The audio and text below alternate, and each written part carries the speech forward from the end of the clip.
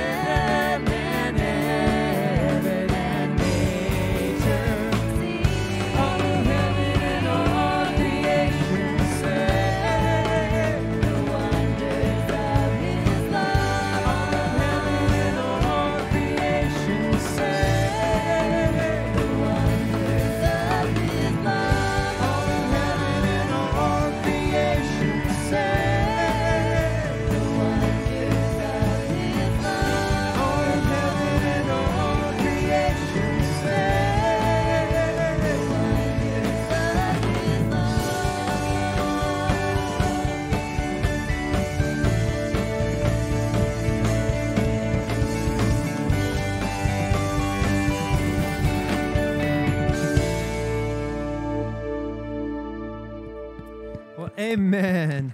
Good morning. Welcome to Greenwood Christian Church. You can have a seat. I want to welcome everybody who's joining us via our online campus, those who are here with us in person. Uh, we are glad as we celebrate this Christmas season that we get the opportunity to do that together. Now, one part of that celebration will be next Sunday, which is one of our favorite Sundays here in Creative Arts. It is Ugly Christmas Sweater Sunday next week. So, uh, if you've got an ugly Christmas sweater, whether you are here with us in the room or you join us from your couch at home, uh, we want to encourage you to wear your very favorite ugly Christmas sweater next week. It's just always a ton of fun uh, for us as a church to do that together. I might offer just one caution. Uh, if you don't have an ugly Christmas sweater, that's totally cool. I, I, maybe just wouldn't wear a sweater next week. You know, I would hate for like an embarrassing moment where someone's like, "Oh man, that's an amazing ugly Christmas sweater," and you're like, "No, it's a sweater. it's just a, just a sweater." So anyway, so next Sunday that is going to be a ton of fun, and then just a few days after that we've got our Christmas Eve services around here, and we are looking so very forward to those. Uh, we'll have services at 2:30, at 4, and at 5:30 that day. We'll have those uh, in person. We'll have those online. Um, as is typically uh, the case for us, we're going to start with a big element that we think is going to be a lot of fun. And so don't be late, whether you're logging in with us or here in person.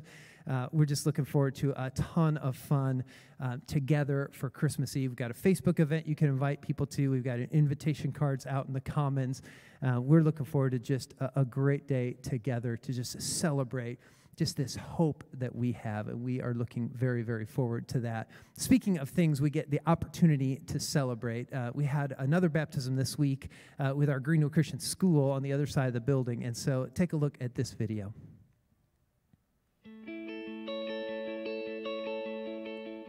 I chose to get baptized today so that I could be closer with the Lord no matter what happens, and for the rest of my life and in sixth grade that I could be closer to the Lord no matter what happens.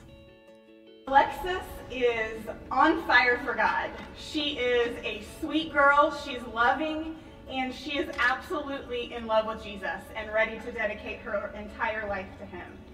Um, so, Alexis, I'm going to have you repeat some things after me today, okay? I believe I believe that Jesus is the Christ, that Jesus is the Christ, the Son of the living God, the Son of the living God, and I now accept him now I accept him as my personal Lord and Savior. and now as my personal Lord and Savior. Because of this confession, Alexis, I now baptize you in the name of the Father, the Son, and the Holy Spirit for forgiveness of sins, the gift of the Holy Spirit, and eternal life. You ready? Thank you.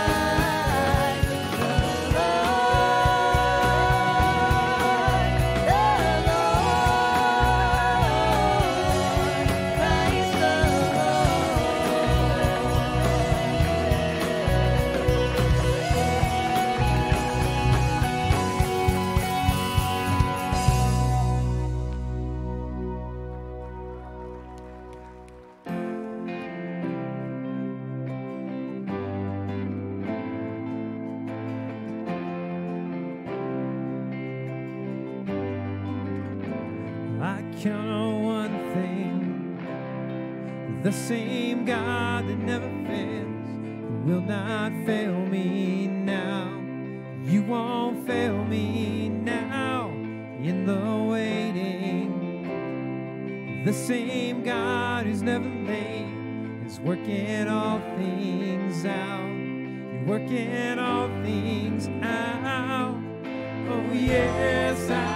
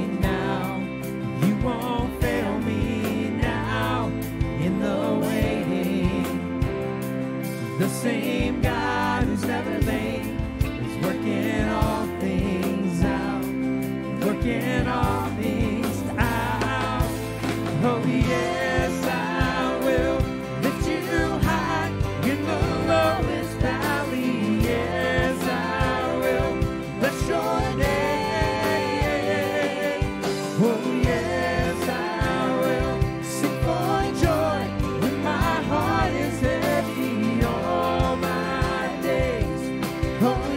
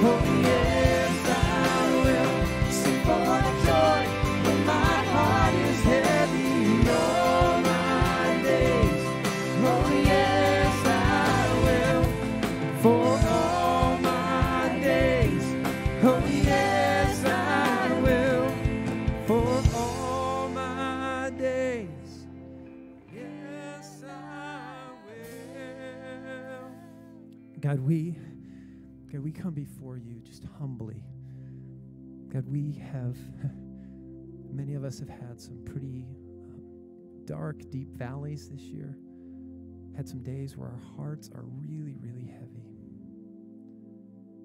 And God, we know, we know in our minds that this is a season of hope and this is a time we can focus on the birth of your son, God, but we ask you, we ask you to come into our lives, in our hearts, and our minds, and fill us with your spirit in the midst of this season where we cry out for answers, God. May we find all of those in you. God, we love you and we praise you. In Jesus' name, amen. You can have a seat.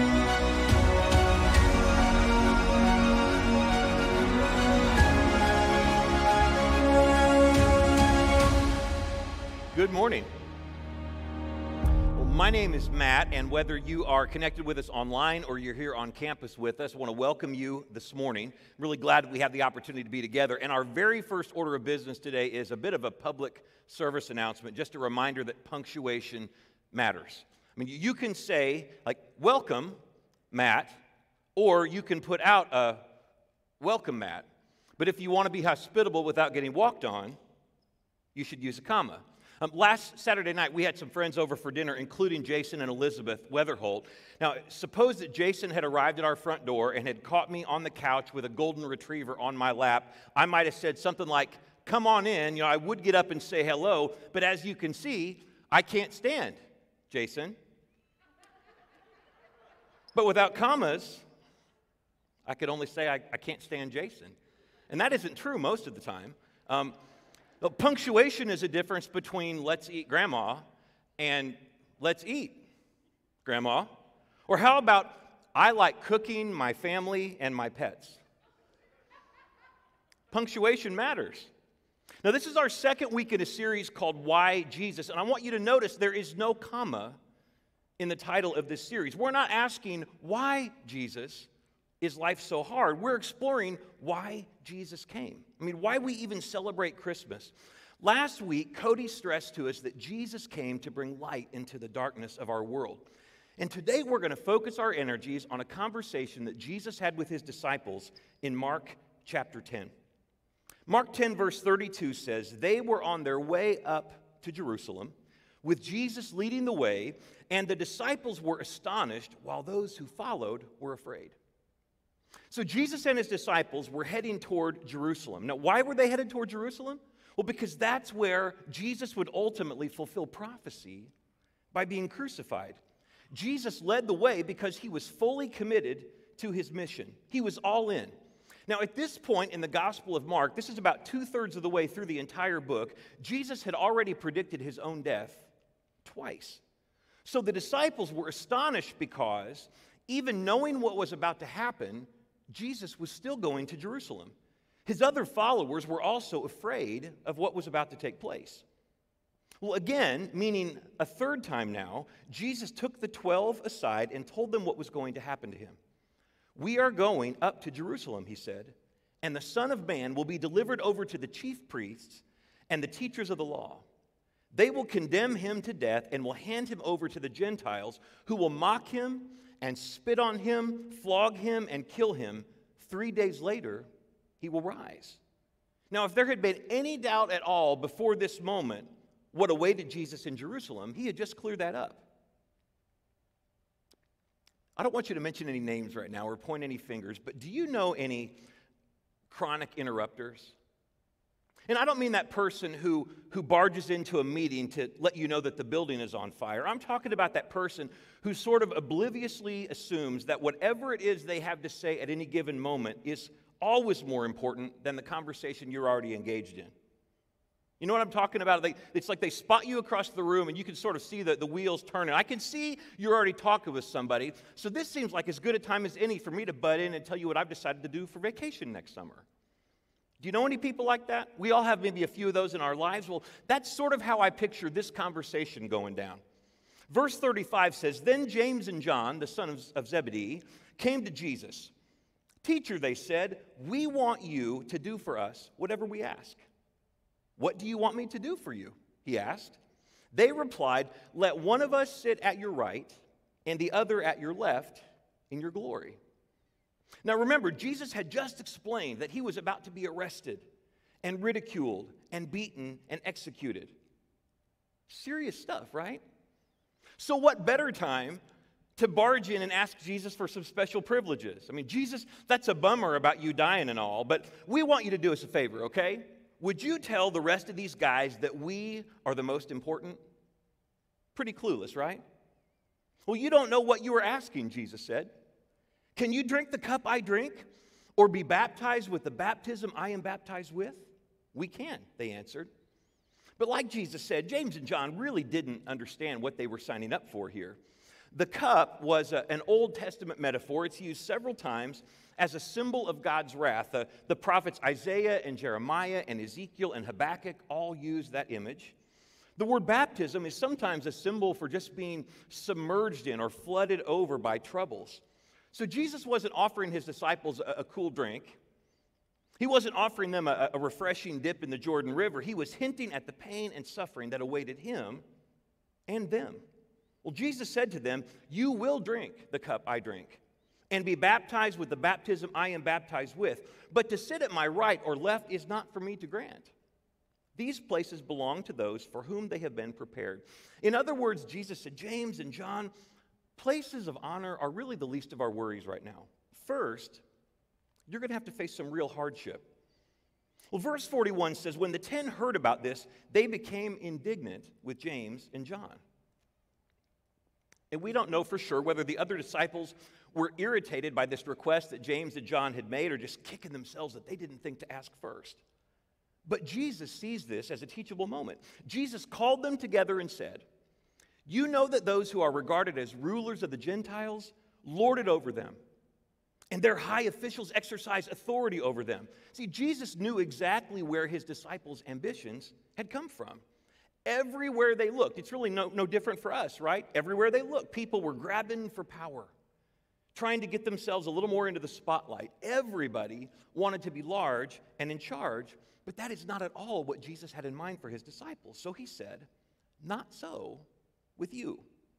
Instead, whoever wants to become great among you must be your servant, and whoever wants to be first must be slave of all.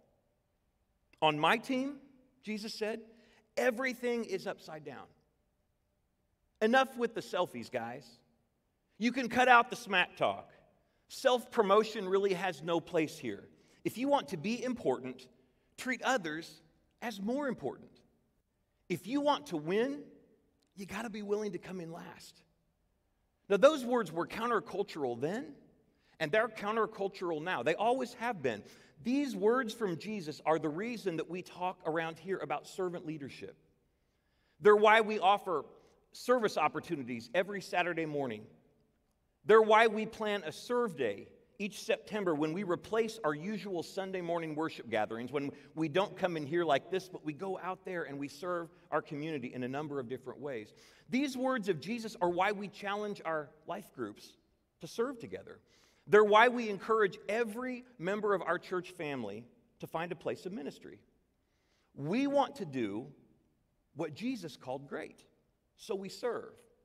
But, but, and this is too important to miss, we don't just serve because that's what Jesus said. We serve because that's what Jesus did. Jesus didn't just tell his disciples he thought it would be a good idea for them to serve. He went on to say this in verse 45. He said, For even the Son of Man did not come to be served, but to serve. Jesus' whole life was characterized by humility. I mean, think about it. The Lord of creation humbled himself by confining himself to a human body, and not just any human body, but a tiny baby. He was born into this world in a space that was shared with livestock, and he was laid in a feeding trough.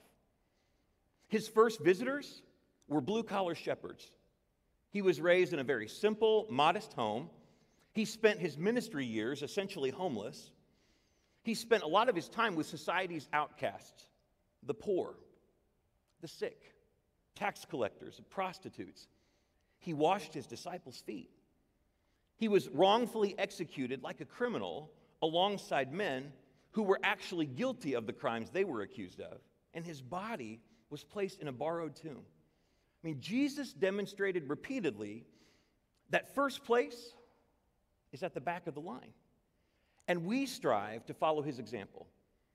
We strive to make servanthood a core value. In our Grow Pathway, which is the, the onboarding class we offer every single month, we stress that we are contributors not consumers. So we stretch beyond our comfort and our campus to show others who Jesus is.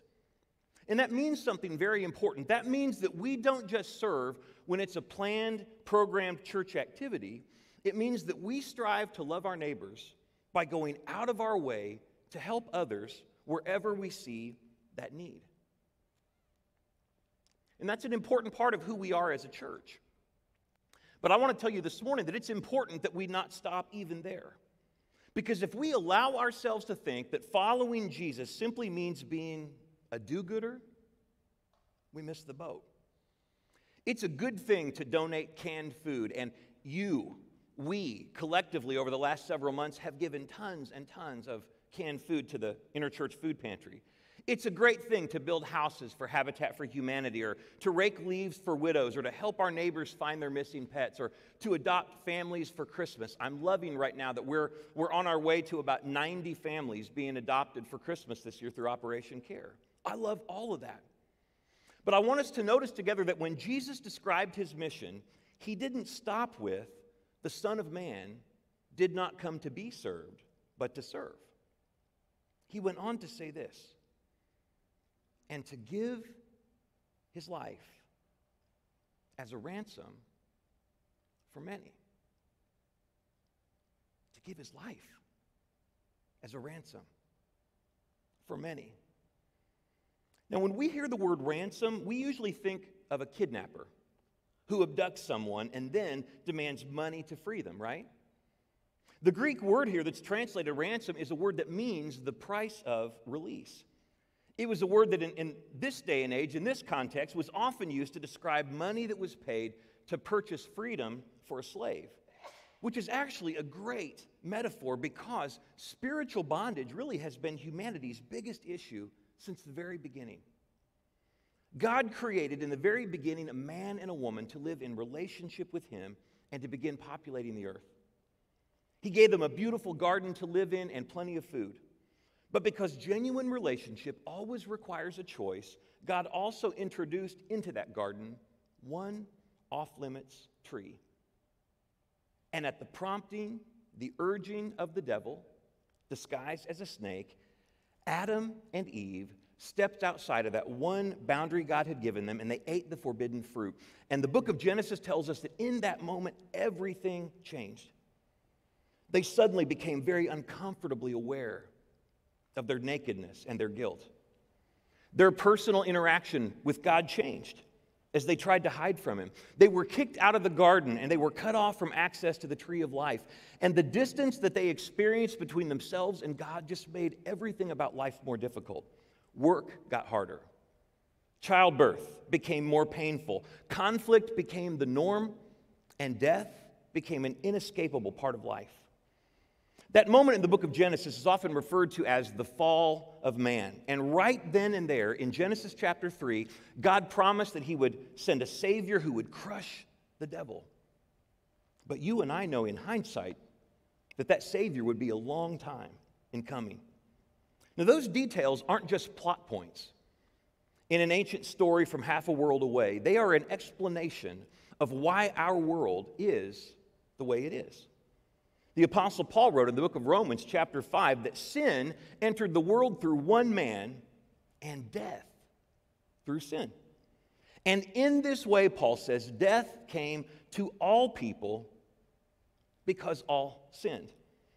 In other words, Adam and Eve were only the first to do something that we have all done repeatedly, and that's to ignore God's instructions. Scripture calls that sin and insists that we are all guilty of it. Adam and Eve's sin distanced them from God, and the result was death. And the same is true for us. Paul said just a bit later in the book of Romans that the wages of sin is death. Not just that moment when these bodies give out and we stop breathing oxygen. He's talking about total, eternal separation from God in hell. That is the natural outcome of our sin. That is the paycheck that we earn through our disobedience to God. Because of sin, Scripture insists repeatedly that the world that God initially created perfect is now full of brokenness, disease, dysfunction, despair, conflict, and crime, pollution, and poverty, and selfishness, and slavery, and hatred. I mean, the list is long and painful, but on that list, our ultimate enemy is death. Despite amazing advances in medicine and technology and safety and security, I'm sure you've noticed that everyone still dies. So Jesus came to do something more than heal diseases.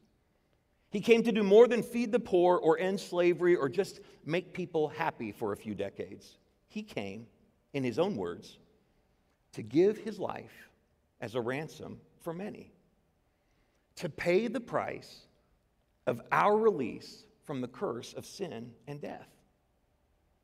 And that raises an interesting question about well, whom did Jesus pay that ransom to? You know, there are some who look at this passage of Scripture and they suggest that Jesus, with his life, paid a ransom to Satan, which sort of assumes that the devil has the power to make demands of and negotiate with God when he is not at all God's equal. I think the point here is that Jesus' sacrifice was God personally paying the price to put things right. I mean, you and I get when we watch a ball game that the referees are not going to catch every infraction of the rules. We're going to watch a Colts game this afternoon and we're going to be frustrated by some things that get called or some things that get missed. We get that the police don't catch every criminal, but God's justice is perfect. And God's justice requires punishment for every sin. If God were to sometimes choose to let sin slide, that would mean that he's no longer consistent or perfect in his holiness and his goodness. So, the point of Scripture, the, the point of the gospel is that you and I will pay personally for our sins unless someone else bears those consequences for us. And that is exactly what Jesus did. Paul wrote in Romans chapter 3, this is a mouthful, but I love this statement. He says, Righteousness the state of being in a right relationship with God is given through faith in Jesus Christ to all who believe.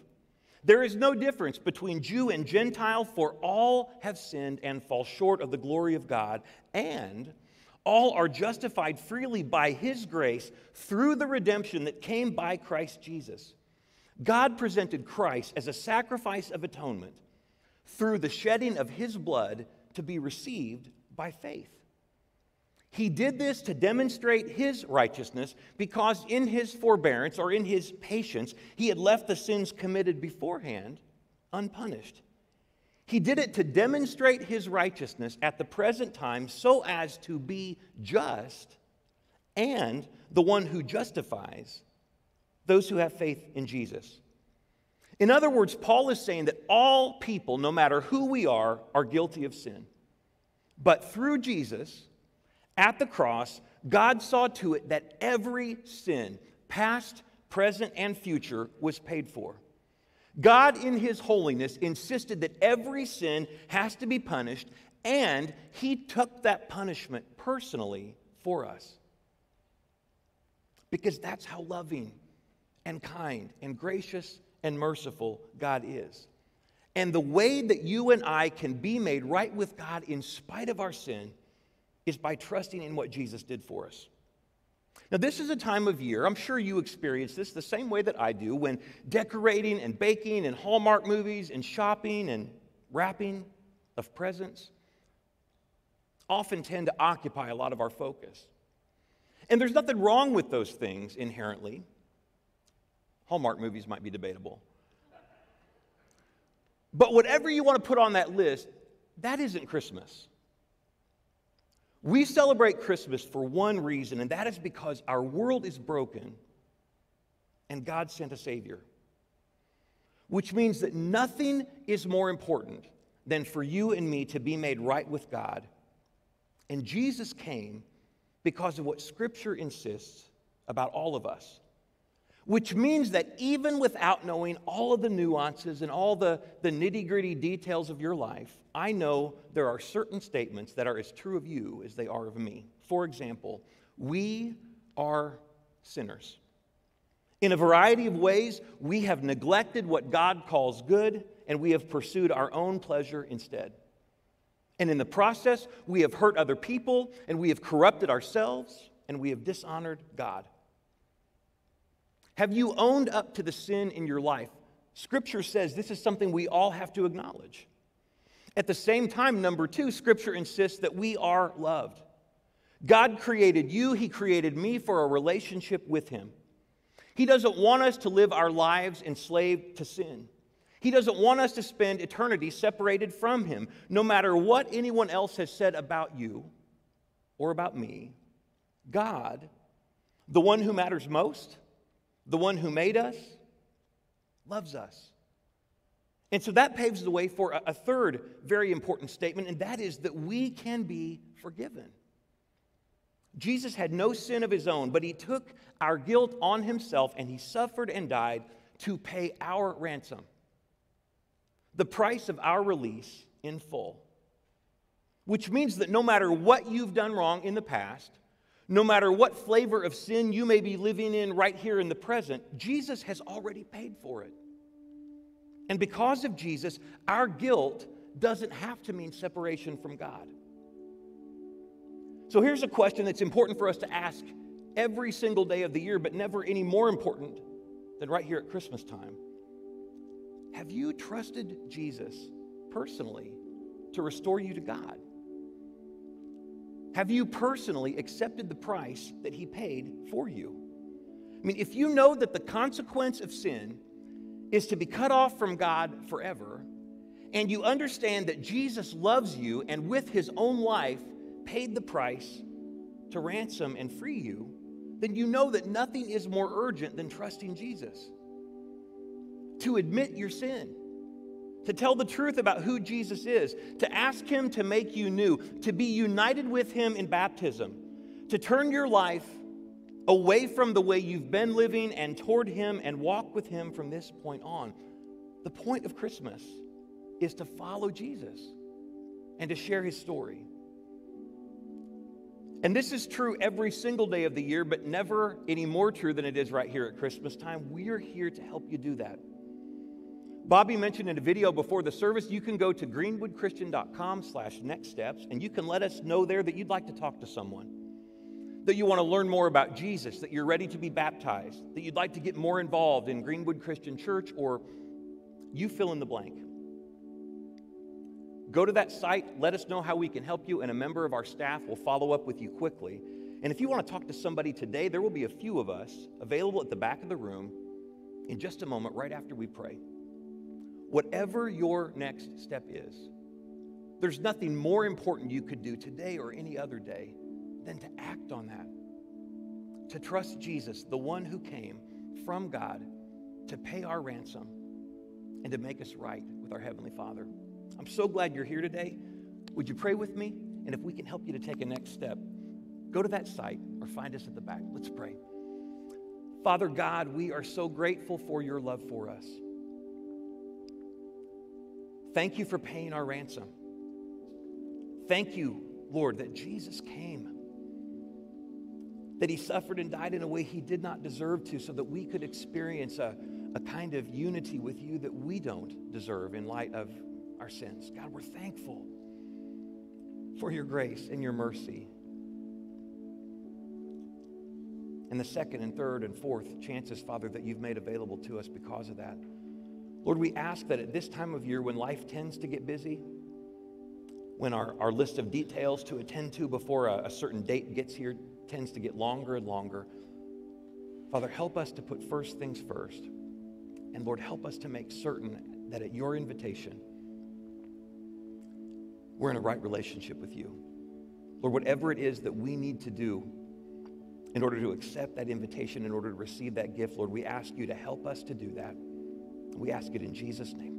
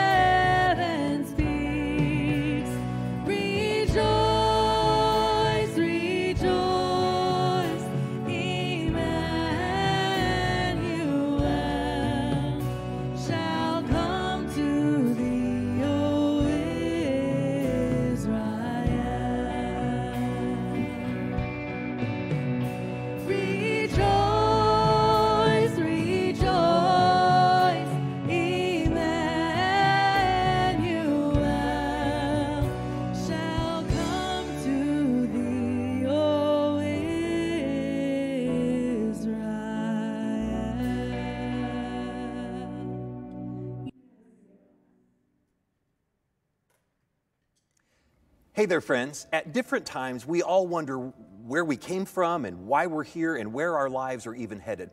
Well, here at Greenwood Christian, we believe that Jesus is the key to all of those questions. He created us to live in relationship with Him and with others. He loved us enough to give His life on the cross to pay for our sins and restore us to a right relationship. And He rose from the dead to free us to live with power and with purpose. Our world desperately needs Jesus, and so we want to share Him with as many people as we possibly can.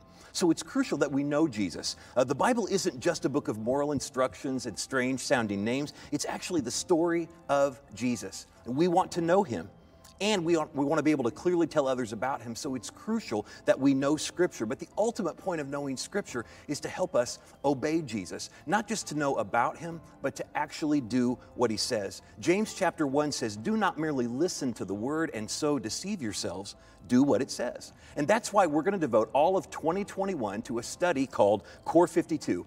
This is a book that was written by Mark Moore. Mark was one of my Bible college professors. He's currently a teaching pastor in Phoenix. Mark loves Jesus and he is a brilliant Bible scholar and teacher. I read Core 52 a few months ago and I'm really excited to be able to reread it with all of you. Each Sunday, just like we always do, we're going to teach from a, a section of Scripture and then throughout the following week, Core 52 will help us to internalize and remember and put God's word into practice. Now, here's what you can do to join us on this journey. First of all, you're going to want to pick up a copy of the Core 52 book. We'll make those available to you in the Commons starting November 29th, or you are, of course, free to order one from Amazon or ChristianBook.com or wherever you purchase books. You can download it for an e reader if you'd rather do things that way.